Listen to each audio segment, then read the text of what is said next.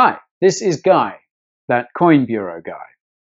Now, before I get going on this review of Fusion, you should know that we are not paid or mandated to do any of our reviews. Also, I'm not your financial advisor, and this is not financial advice. We're a team of analysts who conduct our research and present our views for educational purposes only. And finally, if you're new to this channel, then you may want to hit that subscribe button for the latest news, reviews, and analysis to come from the Coin Bureau. Now, with that out of the way, let's jump right into our review of Fusion. Fusion is a project that seeks to connect all financial transactions in an ecosystem that is cross-chain as well as being cross-data source and cross-organization.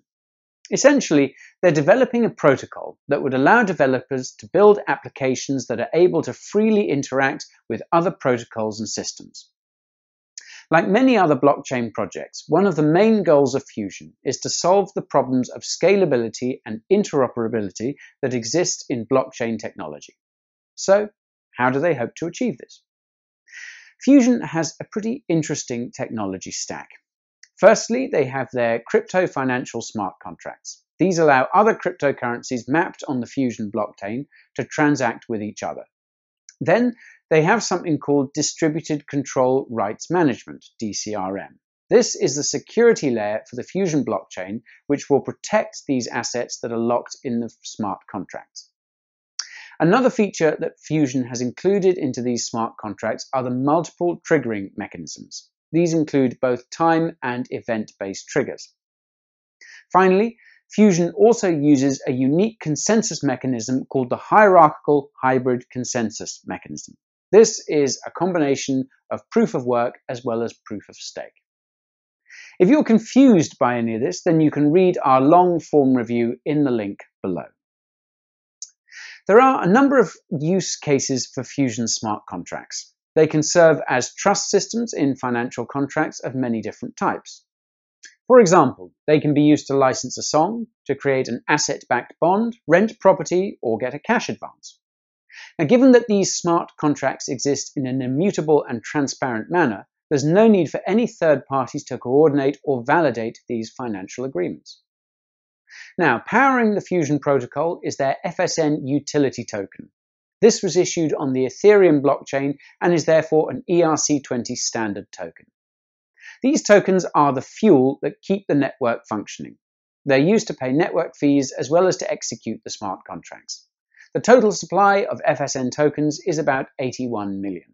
The team behind Fusion is quite interesting. For example, the founder is the CEO of BitSE.